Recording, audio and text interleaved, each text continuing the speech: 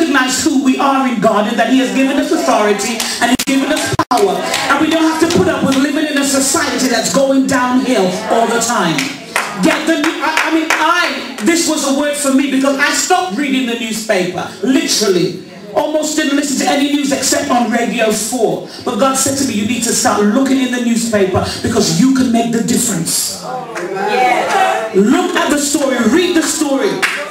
If you see a crash, you know, somebody's family was killed in a car accident, then don't you think, oh, that's really sad. You need to get on your prayer and you need to be commanding the angels to go to that family right in the midst of their sorrow and to minister to them, to change them. Because the enemy did that to destroy that family, to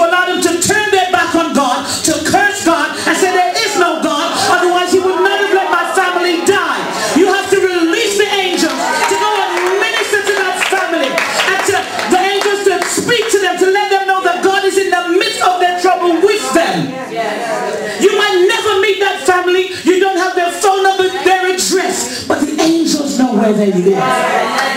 And it's your job to release the angels. It doesn't just have to be, a, I mean, anything that you see in the paper.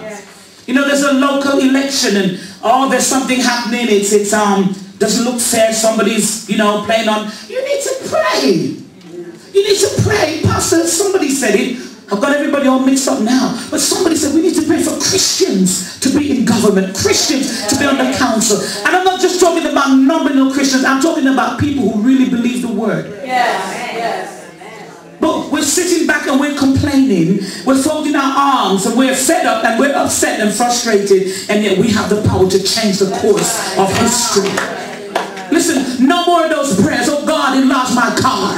Make my bigger. Oh no, that's not a good prayer. Enlarge my house, you know. Oh, bless my food. Bless my food. I don't know what you're laughing at. So you know, we're praying, oh God bless my food, make it good to my, that's good, we need to do that. But that's the only time we pray. Bless my food, make it good to my body. And Lord, remember the hungry people in Africa. Amen. And we never lift a finger to remember the hungry people in Africa. It takes money. It takes somebody to take an action to do something. Praise God. But we need to pray differently. That's what I'm saying to you. And you know what? When you go in the supermarket, when you go in the supermarket, you should always be ready to bail somebody out. And there's somebody in front of you. And the woman says, oh, your grocery bill is 89 pounds and 50 pence. And we say, oh, I've only got, I've only got, you know, whatever she's got. It's not enough anyway. And you turn the other way. You should weigh in and say, can I help you? How much is it? And pay. Yes, you should. Because that's a miracle right there.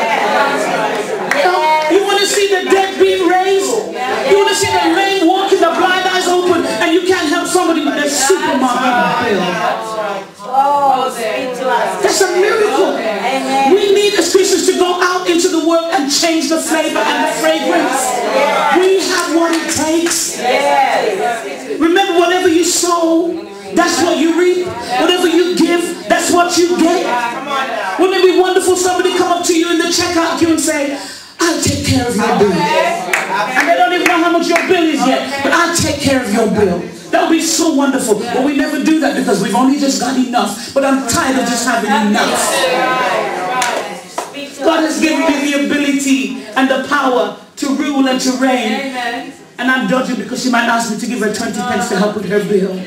It's not enough. It's not good enough. We want miracles and we're not willing. We're not willing to do what it takes for the miracles. You know, some people's purses are so tightly shut that the must have died inside their wallets.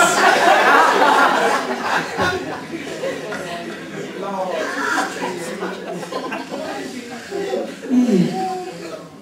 It's a shame. It's a shame. But I made up my mind that I'm going to make sure when I go to the shop I have enough put aside so if somebody needs help I can say, here you are, I'll pay that. You know, people go to buy the shop and they can't even afford to buy a carrier bag. Uh, because you can't eat a carrier bag. So they don't want to pay the money for the carrier bag because every penny needs to go on food. Yes. And you're there watching them dropping the eggs and you wouldn't even buy them a carrier bag for five pence. Come on, you want the major miracles, but you're overlooking the little things. Yes. Come on. Come on. We don't just love people who love us. It's easy to love people who love you. It's very easy. It's much harder to love somebody who doesn't love you or is not like you, doesn't look like you, doesn't have your color, doesn't speak your language. It's, it's, it's harder to love them. Have you noticed people say, oh, I don't like a certain kind of people, but I've got a friend, Yeah. but he's all right. But all the others, you know, because you don't know them. But what you have to recognize is, and I, I tell myself this every day, God knows everybody. To him, they're real people Yes. with real feelings. Yes. And where I live in Birmingham, I'm living in a place called Saltley, and we are the only family that's not Muslim. We're the only family that's not Muslim. And I used to say to myself, well, you know, they don't want to know about God. And then God showed me that he was, you know, because there's a wall between them and us. It's not a visible wall. It's a spiritual wall. And I used that wall as an excuse and where the wall's there, I don't need to do anything. But God spoke to me and showed me that he was on the other side of the wall speaking to their hearts. He's actually inside speaking to their hearts. He's doing that. And one of the days they're going to come to ask me the question and to look for the answer. Yes. He hasn't asked me to climb over the wall, but he's over the wall. And he's talking to them because he wants everybody to be saved. See, they are struggling. You're struggling, okay? And you was brought up in church. Your grandma was in church. Your great-great-grandma was in church. And her cow and her dog was in church. And you're struggling. These people have been bound up for years and years in spiritual darkness. They've not been exposed to a Bible, to the truth. They think that what they believe is the truth. They're really sincere in what they're doing. And we're just allowing them, oh yeah, well they deserve to go to hell anyway. And God said to me, he's over the wall and he's speaking to their hearts. They're asking questions. They don't even know who to go to to get the answers. But here we are. We're supposed to be the light of the world. But you know, everybody's bought um, energy saving bulbs. And so the light isn't so bright anymore. Amen. I want to talk a little bit uh, about the throne room, okay? Are you still with me? Talk a bit about the throne room.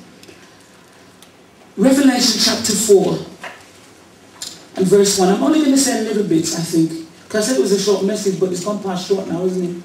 Mm. After this, I looked, and lo in heaven, an open door.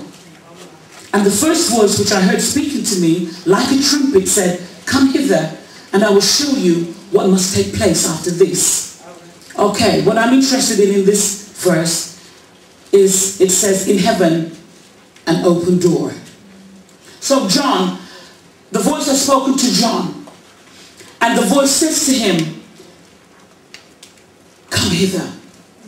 When he comes, the first thing that he sees, open door. The entrance to the throne room of God is an open door. John is told, come up hither. Whenever we need to enter the presence of God, we have an invitation. We are invited. You know, this throne room the door could be shut and you'd have to come and knock and, you know, maybe pass a few guards, but the door is permanently open. That's an open invitation. Hebrews 4 and verse 16 tells us, Let us therefore